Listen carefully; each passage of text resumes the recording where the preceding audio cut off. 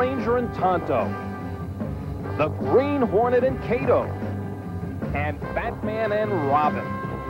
Jeff Ruland and Rick Mahorn are the dynamic duo of the Washington Bullets.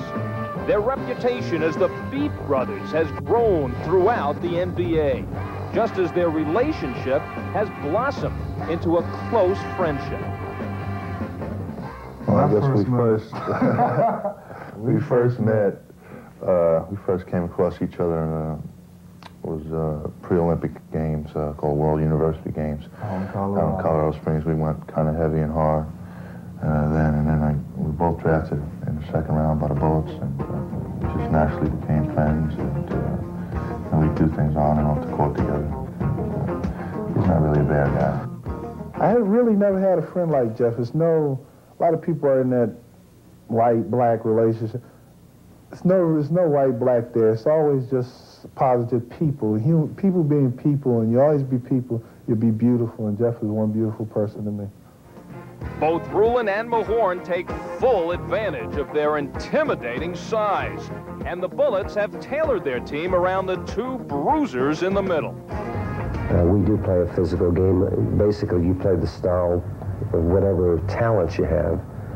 It just happens that, uh, you know, over the last couple of years, we were, we drafted Rick Mahorn and Jeff Ruland, both uh, very large players who enjoy playing physical basketball. I just feel the fact that I am 6'10", 275, that people are going to feel my size somewhat in the game. And uh, if I wasn't a physical player, you know, people would call me, uh, you know, stupid for not using my physical ab ability. And uh, I think anybody with my size would go ahead and use that size to their advantage, and I do.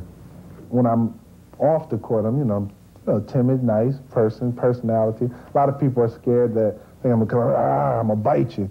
But I'm not gonna, you know, I'm not that type. Only on the court, I guess on the court, it's just a, a phase I go through, and I don't, I don't back down from nobody, and I don't feel that I'm gonna let anybody put me down.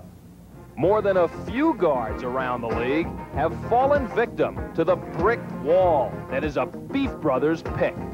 Yeah, it made me into a stamp one time, you know. Um, pow, just like that. Our, our favorite play, I guess, is a double screen where, uh, we, where we uh, screen down on Greg Ballard's man. We have a tendency to let a, let a little room in between us to, uh, I guess, kind of uh, entice people to try to get through. And then we'll close it up on the last minute. So if you're looking for a nice pick, you can just call out a 22B. Or anything. Most of the teams know the play now anyway. if they know the play, they're not going to get through that screen right there. Ruland and Mahorn have made their mark in black and blue. Their reputation as the Beef Brothers is well deserved. The names really, really don't bother us. Uh, uh, you know, we prefer other nicknames, but uh, like fat, fat and fat. But uh, nobody else has seemed to come up with anything else. So um, as of now, I guess we'll be the Beef Brothers, and maybe we'll wind up with that on our tombstones.